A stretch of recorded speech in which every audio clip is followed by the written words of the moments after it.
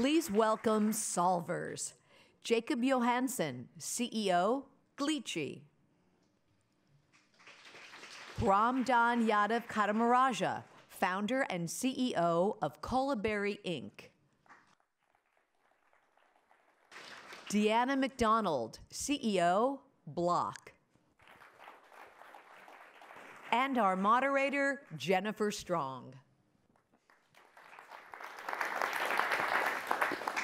Hi again. So our next group here are solvers here to talk about their data in action. And I'm going to start down here with you, Jakob. So you're building and expanding software called Virtual Grasp, which automates the highly, highly complex process of creating movement for artificial hands, am I right? So mm -hmm. how are you using data to do this? Yes, I mean, first and foremost, we, we're kind of developing this software technology to make it easy to interact in the VR space, and we're mainly applying it for the purpose of developing virtual reality education and training, in particular for people who have challenges learning in the old kind of traditional ways of like reading long material. So we focus to, to, uh, to a large extent on people with uh, autism, people with dyslexia. But to kind of power this and make it possible to kind of scale this type of technology, to make it somehow you know, easy to apply VR so it's not like a big investment every time. Uh, we have some kind of core technology to, to enable this. And that's technology actually coming from a completely different field. It's within uh, robotics technology to kind of tell a computer hand how to grasp and interact in, in, a, in a virtual space. And this is essentially technology that's um, generally you know, based on the fact that you, you, you train a computer how to use a hand by looking at how humans use their hands. So we're, we're kind of training the computers to become more human so we can kind of make technology more you know, available and easy to use for, for humans. So, yeah. So Deanna, you next. You work at the intersection really of digital infrastructure, tech, and also policy through the use of blockchain technology. What types of data are you using and how?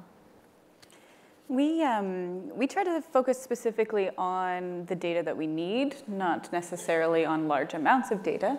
Um, one great example is what we brought in to solve as well uh, last year, and what we're here for is um, our fuel, marine fuel tracing um, application. So there are new environmental regulations coming down in, um, for the first time in the shipping sector, which we have been largely ignoring as ter in terms of emissions in this world. We've had sulfur regulations in the transportation sector on roads, uh, but not in the shipping sector. So now that's happening. However, these regulations are global, as you could imagine, as shipping touches every single corner of the world, and not every environment, not every um, regulatory regime is equal and how do they enforce this. Uh, but secondly, there's just no data in the shipping sector either. So we have to start from scratch. Uh, we go in and we have to find the specific data associated with the fuel, the transfer of the fuel through the supply chain, and all of the quality metrics associated. So the analysis of the fuel, does it meet the sulfur requirements? And new fuels if we want to help to transition the maritime sector as well as to analyze all of those fuels and put them on. Um, and then decision support systems for, for fuel purchasers. But more importantly is also the enforcement and compliance of this. So how do we create monitoring, reporting, and verification systems?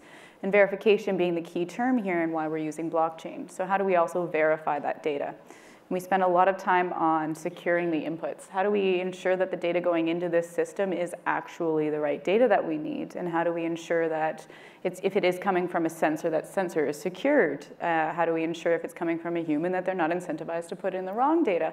And lastly, how do we ensure their privacy conditions in, are met, uh, as well as the ability to be able to transfer that data to different actors in the supply chain? Mm -hmm. Now, you, Ram, your solution is about retraining the workforce for careers in data science and analytics. Why data versus, say, coding right now, which is very hot? Uh, there are a couple of reasons. Uh, first reason is uh, the future that is driven by AI and powered by automation is uh, fundamentally uh, driven by data. So almost uh, according to recent reports by McKinsey, about 81% of the value of AI is driven by good data and advanced data analytics. So for the industry, data is the core skill. Mm -hmm. And then uh, we focus on adult learners. Uh, what we found out is a data first learning is actually easier for adults uh, to learn. Um, and typically, the adults we are focusing on uh, have some sort of uh, skill already because they've been working in the industry, either as a frontline worker or a business analyst. Um, and when you empower them with data skills, right, they can transport their existing skills into the data industry. Uh, moreover, uh, working with data is like more like working with Legos, right? You can see it, you can feel it, uh, and as you play around with it, you can fall in love. So uh, when uh, you are trying to help an adult transition into the tech careers, when you start with data, it's an easier place to start, and coding becomes like a natural extension for them to learn. So these are the two reasons why we focus on data. Yep. And to follow for you, but really for all three of you, how do you think data and human skills complement each other? Uh, we focus on uh, human skills a lot. Mm-hmm. Um, so in the future of work, uh, uh, at work of the future, the fundamental two skills that are required is lifelong learning, uh, and then the human skills, right? So, and human skills is a very uh, dicey topic. Like, no, there is no uh, clear way to uh, define it. There's a lot of argument around it. So what we did is we created one metric which allows us to easily measure, um, and and that is interview skill. So if somebody does an interview, for a job transition job, will they get that interview? So that is a good outcome data point. And uh, we created the uh, platform that allows us to do it at scale. So, uh, the, uh, so one, human skills are critical, and also what we saw is uh, these skills are learnable, at, uh, teachable at scale, and um, we, we, and we are proving that one third of our populations get their job in their first interview, uh, Uh, that's what our data shows. And yeah, so, and we are making like good progress there. Either of you want to chime in? Yeah, I mean, it's a good question. I mean, the way we look at it is, I mean, we're developing so software solutions both for the kind of VR space and the robotic space, and in both areas, we're very much kind of goal-oriented in the sense where can technology actually benefit humans. I mean, even though we are kind of training computers to be kind of humanoid with being able to grasp and interact, and I mean, we, we're doing cases with, for example, ABB, where we're kind of helping collaborative robots being able to pick up and behave more like humans. But it's kind of not the intention of replacing humans. It is, you know, about utilizing this data to be able to create robots, which I mean, the, whole definition of robot is, you know, something that can, can you know, help us. It's a, a tool for, for, for helping us. So I think it's, it's about kind of finding where technology really can excel at doing some particular things. I don't think that robots or AI is going to take all our jobs because jobs are very complicated in general, but it might replace some tasks. And, and um, I think that's kind of a natural thing. So yeah. Mm -hmm. Deanna, do you have anything you want to add? I think maybe also just to add a maybe another dimension to it, I think there are areas where it does complement for sure our skill sets where we're better able to use that for personalized learning, for adaptation and recog, you know, recognition of uh, or rebuilding our brain, you know, circuits even. Um, but I think there's also a very big danger right now, especially in utilizing this, these data sets to define ourselves in marketplaces uh, or in, for example, the you know, phenomenon of, of the internet and the data points that we have also deterring from us getting jobs and, and providing different kind of profiles about us that aren't necessarily true to who we are. And just to kind of maybe wrap in on that point there, there's a lot more that's not explained by data emotional and cognizance um, and rationality that we have as humans that aren't necessarily something we can read off a spreadsheet. So I think they're complementary, uh, complementary but I think there's probably a delineation we should also be very aware of as well. Sure. As something else I want to ask you, I mean, marine transport is responsible for something like 90% of global trade. It's a very powerful, powerful thing, but it's also pretty set in its ways. So what has it been like to be an innovator and also just kind of in that space trying to move that sector forward? Um, it's, uh, it's difficult, but I think one of the things, so we focus predominantly on collaboration and on building technology for the industry. They define the problems, and we build consortiums around the supply chains that we're addressing. So we bring them to the table, and by them I mean industry actors, policymakers, academics, technologists, and we negotiate between us what we want, the, what, what the problem is first, and whether or not blockchain is even a solution for it, or even technology in general. And if it is, then how do we build that and learn from it together? How do we validate it and iterate on it? Um, and from there, if, that, if that's successful, we'll scale it.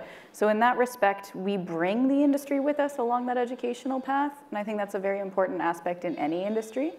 Um, and secondly, we do a lot of outreach, we do a lot of engagement, we do a lot of workshops, we do a lot of one-on-ones, and we take, a, we take our time to not define the technology for the technology's sake, mm-hmm. but instead we, um, we spend a lot of time working with, these are, you know, naval architects and engineers, they're pragmatic people. You know, what am I using this for? Am I a seafarer that has all my certificates in a big binder that if it falls off of a ship, I'm out of work for a year? Or you're talking about electronic certificates? Okay, that makes sense to me. Sure. So it's, it's always contextual, but it's um, especially in this sector where they're using telefax, maybe WhatsApp if we're lucky, um, and wherein the, the ships have not changed since we started uh, shipping things around the world, and we're coming in and saying, hey, blockchain, and now we're integrating with synthetic DNA for the tagging of the fuels. Like, yeah. just trust us, blockchain, synthetic DNA, we're the kids of the future coming to, you know, it's, it's, it's a fine balance. Okay, fair enough. I say that, but I've been on a couple of container ships in the last year to look at things like smart contract. Uh, you know, exactly. So okay, fair enough. Mm-hmm. now this is a question for Jakob first, but really for all of you. I want you to kind of look ahead and think about from your own experience, where do you see opportunities for what you do and the tech you work with um, to really advance data for good going forward? Yeah, I mean, I can start off. I mean, we are quite focused on, on, the VR space at the moment. I mean, of course, we are experimenting with everything from, you know, um, AR and, and robotics in those kind of contexts as well. I, I think both of those technology areas is a little bit further away, whereas in virtual reality, we kind of see that the technology is very much here and now. We can actually do proper things today with it. I mean, it's affordable, it's accessible. The research really shows that VR can be used from everything, which we are focusing to a large extent on, on training, certification, helping you know people that you know need to learn any kind of new task, from be it mathematics or learning about history by actually traveling to Rome or learn, learning about new culture by, by visiting China. You know, it's uh, so, so, I think there's a lot of kind of potential in it, and we've seen so many other aspects of, of, of um, kind of how this technology can be used for different purposes. I mean, we see now, I mean, some of the biggest challenges we have globally, I think, you know, you can see how virtual reality as one of many other tools can be used. It's not going to be a solution in itself. It's going to be kind of one tool to kind of mm-hmm. benefit all this. But I mean, we have a huge challenge in Europe at the moment with a lot of immigrants, and we see a big counter reaction from like a lot of political parties that kind of want to close the borders. And I mean, what we see, for example, with VR is that you can use it as a fantastic empathy machine by experience how it is to be in someone else's shoes. We've seen that, you know, in VR, you can actually reduce kind of this implicit bias, you know, you can actually prove that people become less racist right. by just being in VR with another person's, you know, yeah. in another person's body. So I think there's some kind of fascinating things where this technology really can make a, a significant difference uh, for, for humanity as yeah. a whole. Uh, so yeah. For sure. Sure. Uh, I'm excited about uh, the possibility of uh, uh, development of human skills at scale. basically, printing books allows to democratize knowledge where more people could adapt. Uh, similarly, human skills are learnable. So using technology and being uh, finding innovative ways, uh, there is opportunity to um, to develop human skills at scale. I mean, if we take, as for example, we just created one KPI, one job interview equal to one job. So it's a simple KPI. Similarly, uh, there are, there may, it's just related to our context. So uh, by simplifying how we look at the human skills, what are the outcomes that we are looking for, uh, we can uh, repurpose and develop technology so that we can uh, develop human skills at scale. And also it's pretty context driven. Like when you're talking about human skill, it's a context driven. It changes from context to context. Mm -hmm. the, uh, this human skill that is required by an analyst versus a developer versus a salesperson, they are all different. So if we can contextualize what human skills are and simplify the metrics, uh, we'd be able to develop them at scale. Sure. Deanna, same question for you. How do you see blockchain technology driving socioeconomic change? Um, I'm, I'm, i believe that blockchain is, is a piece of the puzzle, and it's a pretty good one in terms of empowerment, not only on the local context as an individual or in my community, and enabling communities to be empowered with their data, um, but I also see that it links and interconnects us globally as well, or it could. Um, it's a great tool for governance, which is really what we're talking about here, is inclusive participation in markets and economies and having, you know, um, the credibility to do so. I think it's a foundational technology there, but I would be remiss if I didn't say that really where I see it um, helping is, is our current ways of creating data and what we use data for, our entire technological development more or less has been about extracting data out of the system. It's about creating, we create that data and now it's traded on a behavioral future market that dictates what we do. But what happens when we create, when we capture the value within the system and when we focus on value creation amongst us? And I think that's one of the aspects that blockchain really will contribute to in the future if we do it right. Um, and if we design for a future wherein we can create value together and we share in that value directly between each other, uh, peer to peer, you know, individual to individual, business to business, rather than having these intermediaries that are, are predominantly extracting that data out and using it for themselves. And kind of to that end, I mean, Ram, 70% of your users are from underrepresented populations. In your view, what do you think can be done about the skills gap? Uh, to add to that, uh, about 45% are women, and we actually impacted about uh, 120 at-risk youth uh, in the Bay Area by partnering with Year Up. So it has been an amazing journey. Um, uh, like, I mean, skills gap, especially in the work of the future, uh, it's, uh, some of the observations that we made was one of the biggest barrier is the cost. So we introduced income share agreements. They work really well because it, we, uh, it's uh, incentivization from both sides. Mm-hmm. Um, and then accessibility to technology. In my, in my view, accessibility is about if you want to work in these advanced uh, technologies, you need to have access to good computing power, right? Uh, and um, normal kid uh, in a in a troubled neighborhood, they would not have access to the good computer. Probably they have to go to a library or something. So we introduce a skill cloud, uh, which allows us to provide powerful computing to anybody so that they can learn by doing and become like really good and be ready for the future of work. So uh, by, by thinking about your constituent, like who you are serving and what are the barriers for them to get to uh, into the new future of work that allows uh, that, that, that's the way to address the skill gap.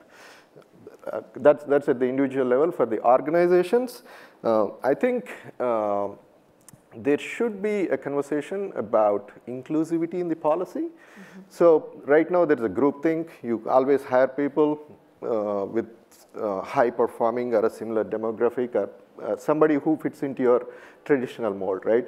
They have to open up especially if the demand side opens up to inclusivity and uh, they try to hire uh, uh, people, the supply side, the people are willing to learn the skills, right? If there is a job, they're willing to work for it.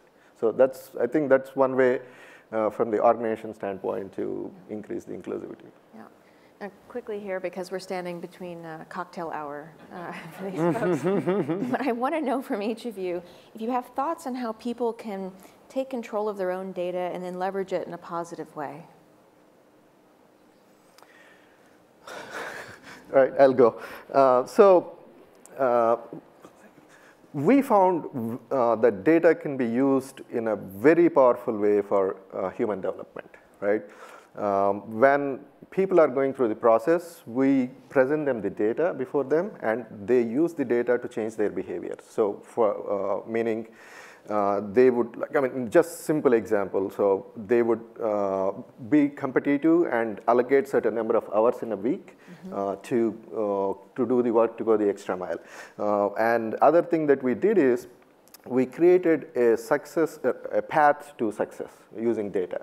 Uh, we collected millions of data points from the people who graduated before, um, and we, create, we basically show the roadmaps to the people who are going through it. So at any given point of time, they might be feeling down, but they can go and look at the data of the people who succeeded in the past.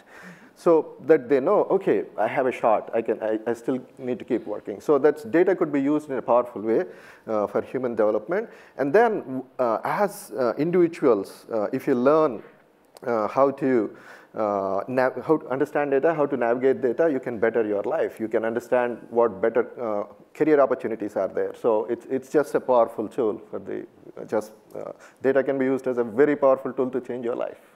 Any closing thoughts, either from Deanna or Jakob? Not, not really.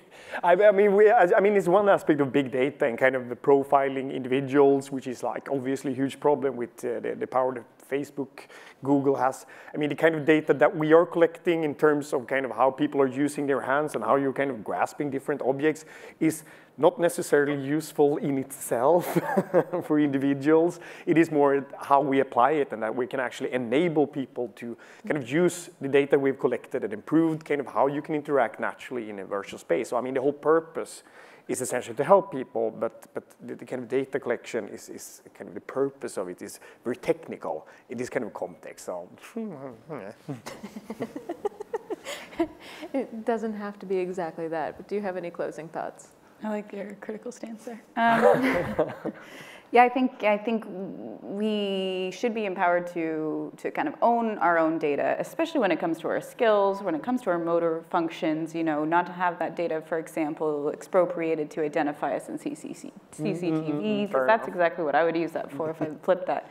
Um, so I think there's something to, to be said about protecting our own data, utilizing it and having our own ability to be able to use it when we want to and how we want to, or allow others to use it as we see fit by allowing them access. Uh, but I do not see that we have that alternative right now. And as it stands, you know, 98% of our apps on our phone are owned by Facebook and Google, and pretty much all of the services offered to us that we can, you know, find value right now are offered. So I think until we have that alternative, I'm not entirely convinced that, that we have data for good or that we can build data for good until we know that the data rests on a foundation that we control and we are empowered to, to utilize. So I think it's not there. I don't know. But I hope that in the future, or I hope that we can build that alternative for data. Well, to that end, I asked the last group if, uh, you know, they pull out the crystal ball and think about going forward, something they believe they will see or something they would like to see in terms of data for good. I'd, I'd, I would like to really see us uh, start to call it for what it is, start to name the unprecedented which is happening, um, just at the very least awareness about the topic of how our data is currently being used and how we are not involved in that conversation as it stands. So for my crystal ball, it would just be that we're having actual forums and discussions like this one and more that discuss how, how we want to go forward and how we want to, to build our future with data. Yeah, so I would say uh, businesses need to open up uh, to hire based on data instead of resumes.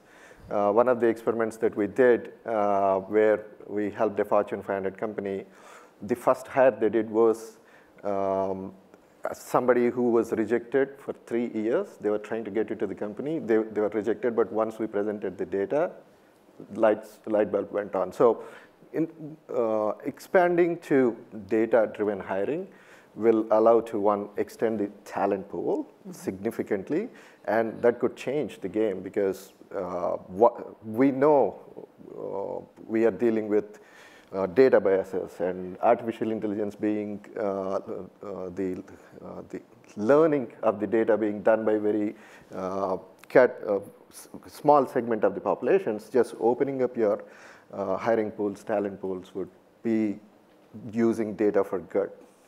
Mm-hmm. You're a total comedian backstage. Come on. Yeah, what's up? No, but I think I, I think it's, a, it's, an interesting topic, and I think there's like a fundamental difference to kind of some of the aspects we're talking about here in the sense of like big data and how you can profile people and this aspect. And I mean, I'm not kind of person who's kind of necessarily want to close in. I mean, as long as the data about me somehow uh, private. I mean, I, I, don't bother it kind of going away.